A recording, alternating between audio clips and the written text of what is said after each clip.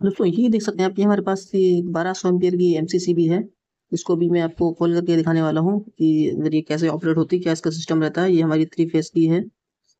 ये काफ़ी बड़ी साइज़ में एम हमारी है। चलिए आपको मैं इसको भी दिखा देता हूँ। ये हमारे पेंच लगे हुए हैं हमें पहले खोलना पड़ेगा, उसके बाद में ही हम इसको दिखा पाएँगे। ये हमारी सीटी पड़ी हुई है, ये देख सकते हैं आप। ये देखिए सीटी में आपको दिखा देता हूँ इसका रेशियो किस रेशियो में हमारी सीटी है?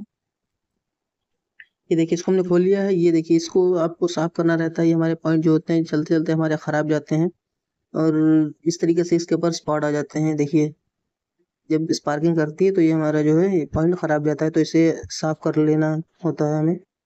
इस तरीके से हमारे पास एम पेपर है, इससे हम इसको साफ़ कर लेंगे।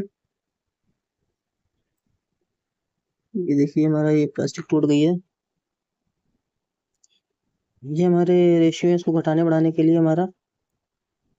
रिले सिस्टम जो होता है, जैसा हमारा वही दिया हुआ है इसमें इसको कम ज़्यादा हम कर सकते हैं। इसको हम साफ़ कर लेते हैं, देखिए, इस तरीके से कुछ। ये देखिए, हमारे पॉइंट साफ़ हो गए हैं। दिखा देता हूँ आपको, ये